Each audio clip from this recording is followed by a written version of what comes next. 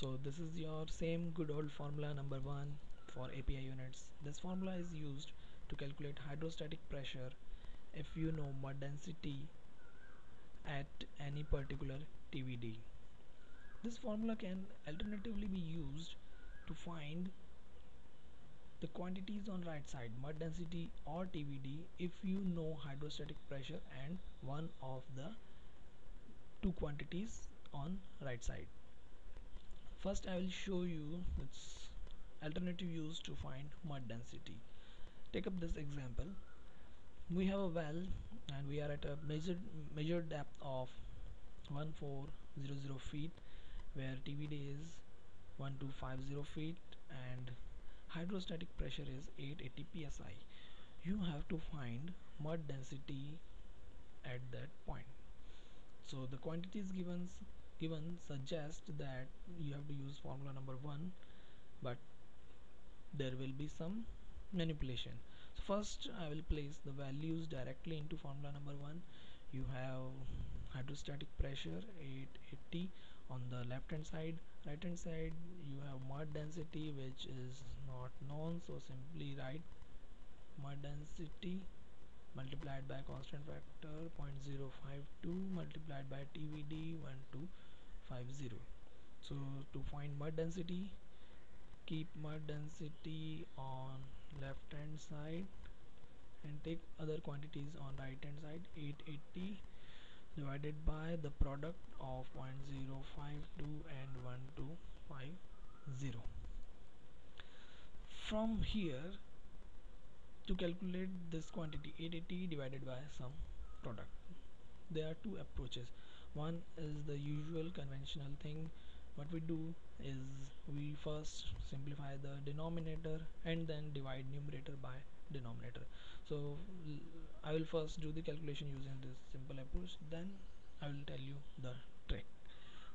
Useful for calculating with calculator and almost you will use that one always because that is the simplest thing to do. Using the calculator that will be the simplest approach. So first the usual way. Calculate denominator.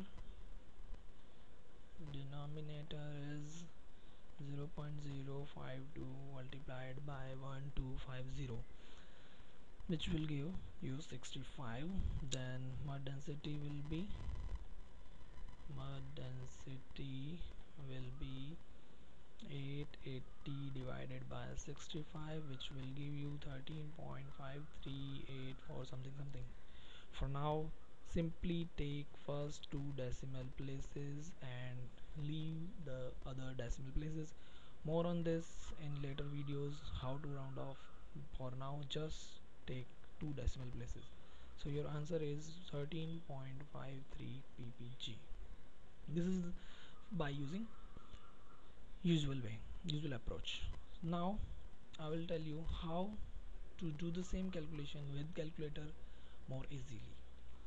And this this calculation is equivalently uh, mud density uh, is equivalently 880 divided by something 0.052 and then this quantity is being divided by something 1250 this is alternate this is same as what we have done above.